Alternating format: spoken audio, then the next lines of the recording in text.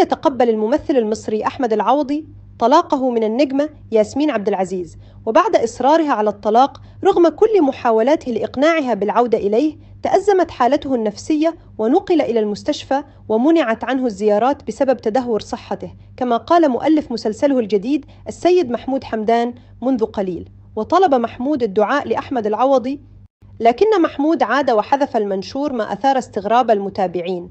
ويبدو أنه تلقى اتصالا من أحمد الذي أبدى انزعاجه لتسريب الخبر فيما لم تعلق ياسمين عبد العزيز بل على العكس يبدو أنها اتخذت قرارها بإكمال حياتها بعيدا عن أحمد ونشرت صورة ظهرت بقمة جمالها وكأنها تقول أنها تريد بداية جديدة. محمود حمدان كوليس فجر قنبلة وخفاها وفل. يعني عرفتي كيف خفى آثارها وفل أو خلينا نقول آثارها بعدها باقية. هلا السؤال ليه لغى المنشور؟ يبدو إنه أحمد العوضي طلب منه لأنه في علاقة إنسانية قوية بتجمعهم. هلا الدافع الانساني اللي اللي خلى محمود ينزل هيك خبر هو حقيقة فرضية إنه فات أحمد العوضي إلى المستشفى. لكن الفرضية الأخرى هو إثارة استعطاف ياسمين عبد العزيز من بعد ما عرفنا يعني حتى من مصادر مقربة إنه أحمد ما كان راضي على الطلاق يعني كان عم بيصر على ياسمين كرمال تسامحه وترجع له. بعدنا مش عارفين السبب الرئيسي لأنه ياسمين جدا كتومة بحياتها الخاصة وبأمورها الخاصة ولا بحياتها سربت خبر بخص حياتها الشخصية للإعلام.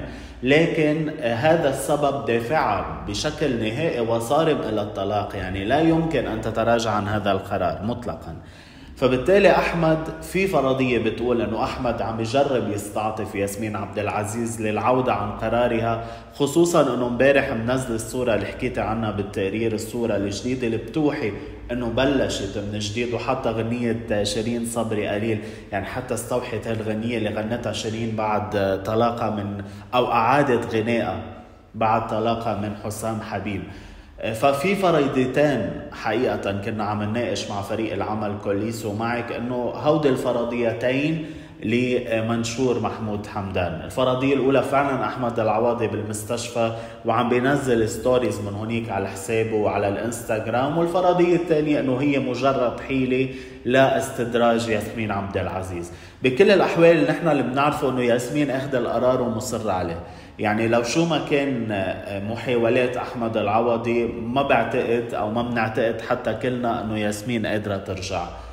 شكرا لك كوليس وشكرا لجميع المشاهدين إلى اللقاء.